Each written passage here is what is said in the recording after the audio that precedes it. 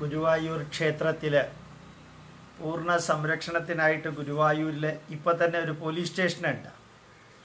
ഇനി Guruvayur temple police station എന്ന് പറഞ്ഞ പുതിയൊരു പോലീസ് സ്റ്റേഷൻ. എന്താണ് ലക്ഷ്യം എന്നുള്ളതിനെക്കുറിച്ചൊരു വരി ജന്മഭൂമിയിൽ വന്നതൊന്ന് വായിക്കാം. Guruvayur temple police station. ലക്ഷ്യം സുരക്ഷയല്ല ക്ഷേത്രം കൈയടക്കൽ.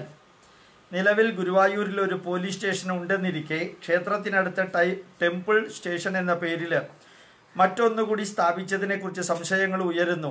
ക്ഷേത്രങ്ങളിൽ സ്വാധീനമുറപ്പിച്ച ഹൈന്ദവ ഭക്തജന സംഘടനകളെ പുറത്താക്കാനുള്ള ഇടത് സർക്കാരിന്റെ നീക്കത്തിന്റെ ആദ്യ പരീക്ഷണമാണ് ഗുരുവായൂരിലെ ടെമ്പിൾ പോലീസ് സ്റ്റേഷൻ എന്നാണ് സൂചന. ക്ഷേത്ര സംരക്ഷണത്തിന് എന്ന പേരിൽ ക്ഷേത്രാങ്കണത്തിൽ പോലീസ് സ്റ്റേഷൻ സ്ഥാപിച്ച് ആധിപത്യം ഉറപ്പിക്കാം. ഗുരുവായൂരിൽ പരീക്ഷിച്ച് വിജയിച്ചാൽ സംസ്ഥാനത്തെ പ്രമുഖ ക്ഷേത്രങ്ങളിലെല്ലാം ഈ സംവിധാനം കൊണ്ടുവരും. നിലവിലുള്ള പോലീസ് സ്റ്റേഷന്റെ സൗകര്യങ്ങളും ആൾബലവും വർദ്ധിപ്പിച്ച സുരക്ഷാ പ്രശ്നം പരിഹരിക്കാമെന്നായിരി എന്നിരിക്കെയാണ് ഈ നീക്കം. അല്ലാതെ ഗുരുവായൂർ ക്ഷേത്രത്തിൽ ഇപ്പോൾ സുരക്ഷാ പ്രശ്നങ്ങളൊന്നുമില്ല. ഉണ്ടെങ്കിൽ തന്നെ അകത്തുള്ളവർ കക്കുന്നു എന്ന് മാത്രമേ ഉള്ളൂ. പുറത്തുള്ളവരാരും കക്കാൻ അകത്തേക്ക് കയറുന്നില്ല കാരണം അതിനേക്കാൾ വലിയ കള്ളന്മാർ അകത്തുള്ള സ്ഥിതിക്ക് പുറത്തുള്ള കള്ളന്മാർക്ക് കുറേ കാലവും കൂടി ജീവിക്കണമെന്ന് ആഗ്രഹമുള്ള സ്ഥിതിക്ക് അവരകത്തേക്ക് കയറില്ല. അതിനിടെ കോടികളുടെ ആസ്തിയുള്ള Guruvayur Devaswom temple police station നിർമ്മാണത്തിന് സർക്കാരിന്റെ സഹായം തേടിയതിന്റെ ദുരൂഹതയുണ്ടെന്ന് ഭക്തർ ആരോപിക്കുന്നു. അപ്പോൾ അമ്പലത്തിന് വേണ്ടിയിട്ടല്ല സർക്കാരിന്റെ കൂടി ചേർത്ത് സർക്കാർ ഗുരുവായൂർ ഭരണസമിതിക്ക് അകത്തേക്ക് വേണ്ട സ്വാധീനം പോലീസിലൂടെ ചെലുത്തിയിട്ട് ക്ഷേത്രത്തെ അവരുടെ വരച്ച വരയിൽ നിർത്താനുള്ള ഒരു പരിപാടിയുടെ ഭാഗം. കോടികൾ ചെലവിട്ടായിരുന്നു പോലീസ് സ്റ്റേഷൻ നിർമ്മാണ ഉദ്ഘാടന മാമാങ്കം നടത്തിയത്.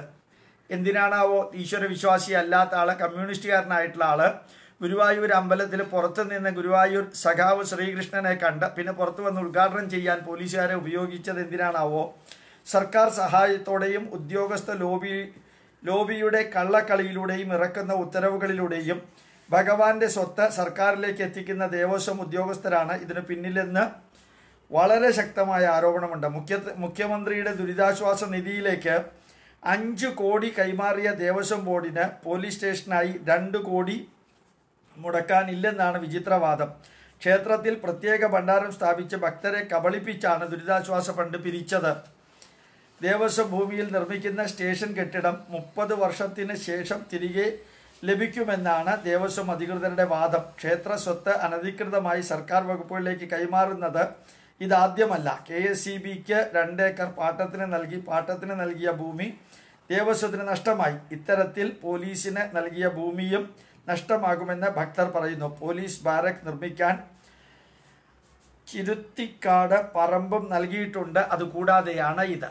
ഏതായാലും അടുത്ത ഒരു രണ്ട് വർഷം കൊണ്ട് സാധിക്കാവുന്ന എല്ലാ തിന്മകളും ചെയ്ത് അവസാനം സ്വർഗത്തിലേക്ക് ജന്മനാൽ പോവില്ല എന്നുള്ളത് ഉറപ്പാ. നരകത്തിൽ പോലും കയറ്റാത്ത വിധത്തിൽ ഇതിനിടയ്ക്ക് വേറെ ഏതെങ്കിലും ഒരെണ്ണം ഉണ്ടെങ്കിൽ ക്രിസ്ത്യാനികളുടെ പർഗേറ്ററി എന്ന് പറയുന്ന ഒരു സാധനമുണ്ട്. കുംഭിപാത നരകം. അവിടേക്ക് പോകാൻ പാകത്തിനാണ് നമ്മളുടെ ഭരണാധികാരികളിലെ ചിലർ കാട്ടിക്കൂട്ടുന്നത്. ശ്രീകൃഷ്ണനെയും അയ്യപ്പനെയും പാർത്ഥസാരഥിയെയും നമ്മുടെ പൈതൃകത്തെയും ധർമ്മത്തെയും ഒക്കെ അവഹേളിക്കാൻ പാകത്തിന് ജന്മം ലഭിച്ച കുറേ വ്യക്തികൾ ഈ കേരളത്തിൽ ഇങ്ങനെ ഇരിക്കുന്നിടത്തോളം കാലം മൂന്നാമത്തെ വെള്ളപ്പൊക്കം എന്നാ വരുന്നത് എന്ന് കേന്ദ്രത്തോടൊന്നും ചോദിക്കേണ്ട. അടുത്ത് തന്നെ വരാൻ സാധ്യതയുണ്ട് എന്ന് ഒരു കാലാവസ്ഥാ നിരീക്ഷകൻ പറഞ്ഞില്ലെങ്കിലും ഇവിടെ ചെയ്യുന്ന പ്രവൃത്തി മാത്രം നോക്കിയാൽ മനസ്സിലാക്കാൻ സാധിക്കും.